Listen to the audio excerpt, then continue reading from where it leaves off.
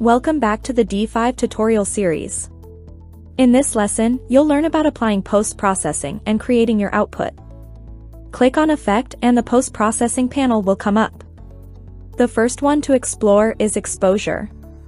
I don't suggest turning auto exposure on for interior scenes. If you realize your scene is relatively dark, try adding some lights instead of adjusting the exposure to a high value. This can lead to overexposure, especially in areas outside of windows. Next is contrast. This parameter is used to adjust the contrast between bright and dark areas in your image. Then there's highlight. Highlight controls the brightest area of an image. When an image is overexposed, try pulling the highlight control to the left to reveal the overexposed details. Next is shadow, which is the inverse of highlight. It controls the darker parts of your image.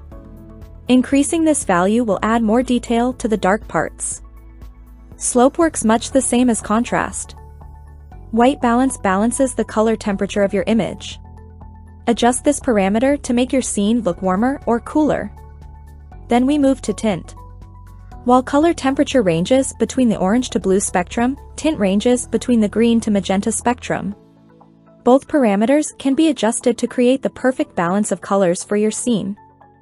Bloom makes metal and emissive materials brighter having a hazy and dazzling effect. Lens flare simulates the flare produced by a real camera lens when shooting a bright light source.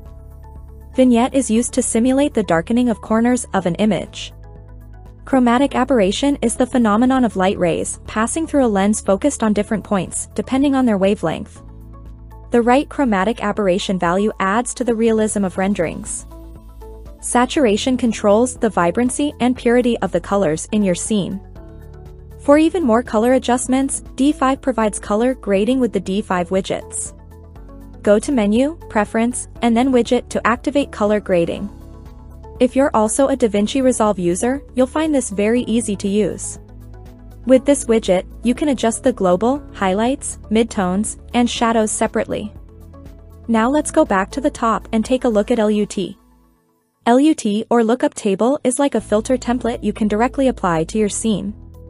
D5 has some preset LUTs. You can try these one by one and adjust their intensity.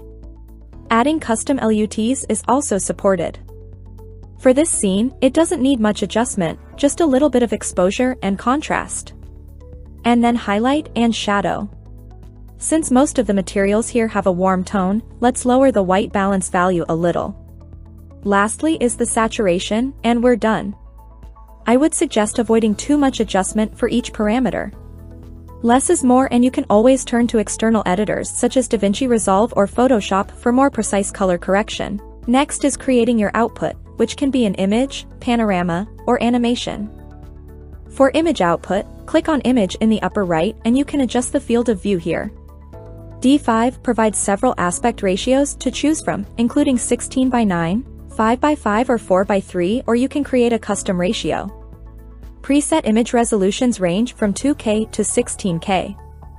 Finally, there is an option for creating separate image channels that help with post-production in image editors such as Photoshop.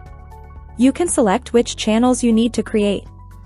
One thing I need to mention is that when you're in the image rendering tab, you still have access to environment and effect, which means you can still do composition work.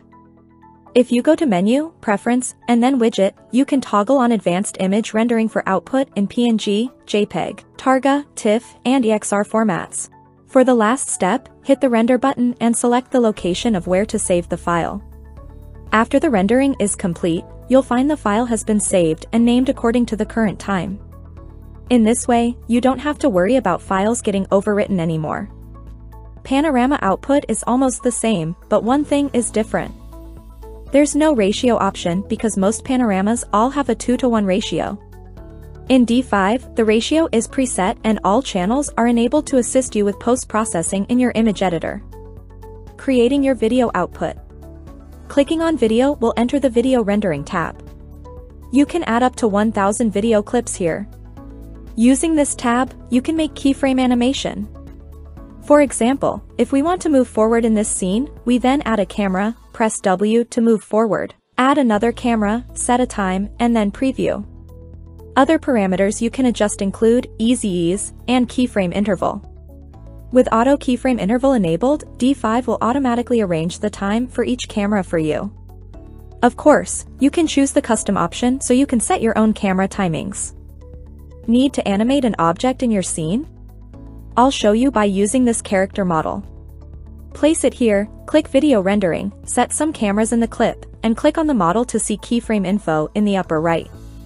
Add one keyframe at the beginning, move the model, and add another keyframe a few seconds later. See that? Now it's walking.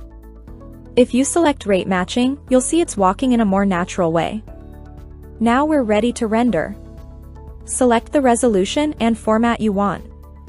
I also suggest enabling NVIDIA DLSS by turning it on in the menu. This speeds up the rendering process by about two times. Finally, select the output location where you want to save the video, and the rendering begins. Render queue is also worth mentioning. You can add images, panoramas, and videos to the render queue for batch rendering. This saves you a lot of time instead of waiting in front of the computer. That's it for today's video. D5 Render is an all-in-one solution that's easy to use. If you have further post-processing needs, I recommend Photoshop for images and DaVinci Resolve for videos. Thanks for watching and I'll see you in the next lesson.